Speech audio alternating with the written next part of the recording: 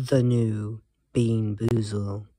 Flavors now include Christmas tree shavings, your brother's dirty underwear. Wait, how in the heck did we get underwear flavored jelly Shut up, Jim, you're fired. Clorox, Tide packets, dog farts, and baby food. No, not food for babies. Food made out of babies. Boozled. Now sold at your local Walmart inside of the van that's always there.